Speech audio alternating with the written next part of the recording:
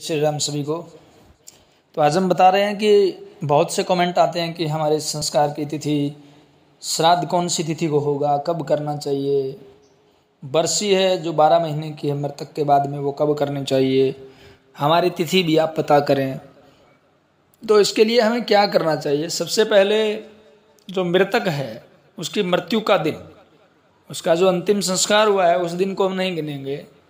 मृत्यु के दिन से गिनते हैं। मृतक के दिन से हम देखेंगे कि तेरहवीं करते हैं तो मृतक के दिन से हम गिनते हैं। क्यों गिना जाता है मृतक के दिन से?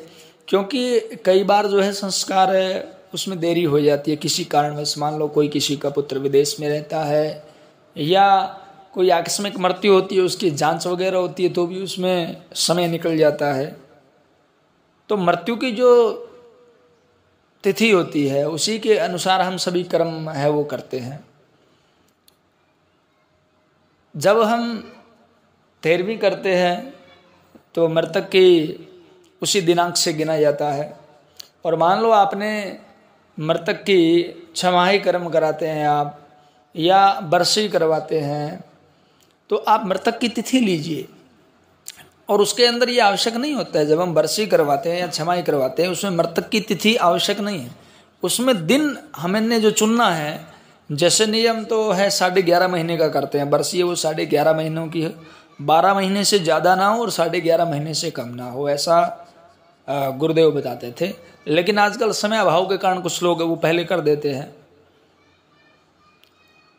श्राद्ध आप जो करते हैं, वो हमेशा मृत्यु की तिथि पर होता है। तो इसके लिए आप क्या करिए?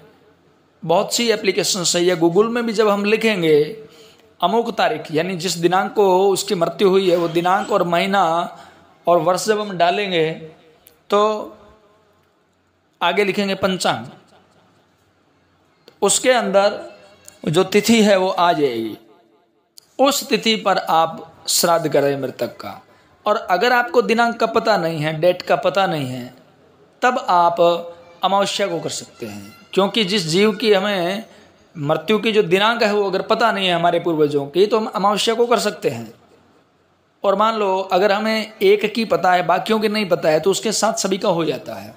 जो मुख्य है, जिसका किया जाता है, उसके साथ बाकी पूर्वजों का हो जाता है। ऐसे नहीं है कि सभी का अलग अलग दिनांक को करना पड़ता है। और अगर किसी की नहीं पता है तो आप अमावस्या को कर सकते हैं। पितरों का दिवस होता है। और बहुत से लोग ये पूछते हैं कि हम क्या करें? आप श्रद्धानुसार कितना भी कर सकते हैं। ऐसा नहीं है कि आपने ग्यारह ब्राह्मणों को भोजन करवाना, इक्कीस को करवाना, ये करना, वो करना, ऐसा कुछ नहीं है। हम अपनी सामर्थ्य के अनुसार करते हैं। एक ब्राह्मण को भोजन करवा सकते हैं आप। और बहुत से लोगों ने ये पूछा है कि गुरु जी हमारे यहाँ ब्राह्मण उपलब्ध नहीं हो पाते हैं या हमारा कोई संपर्क नहीं है, बाहर रहते हैं तो आप वहाँ अगर गऊ है तो गऊ को भी भोजन बना के गऊ को भोजन करवा सकते हैं। और अपनी श्रद्धा से अगर आप कोई पानी का दान करना चाहते हैं, जो भी आपकी समर्थ है, वस्त्र का है, ये कुछ भी जो आपकी समर्थ, किसी गरीब की सहायता है, किसी पशु की, किसी पक्षी की, जो भी आप मृतक का नाम लेकर के कि उसके निमित्त मैं ये करता हूँ तो वो उसको मिलता है।